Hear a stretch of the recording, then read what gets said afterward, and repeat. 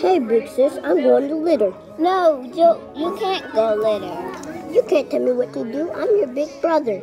Well, I'm gonna go tell Mama. I don't care. Bye bye.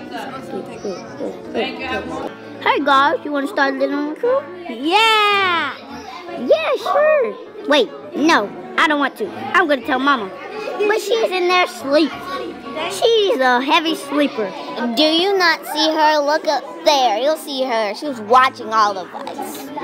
Um, I'm gonna go somewhere else. Come on, I don't want to litter no more. Yeah, let's go. Dun, dun, dun.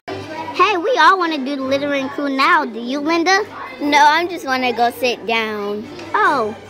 Sorry, Linda, but I'm gonna go do the littering crew too. Hey guys, I'm gonna join the littering crew. Oh, good, nice choice. Come on, let's let's start over there. Oh, guys, do you smell all that smoke? It's making me sick. Oh yeah. I think it's from that club that they started. The the The littering club.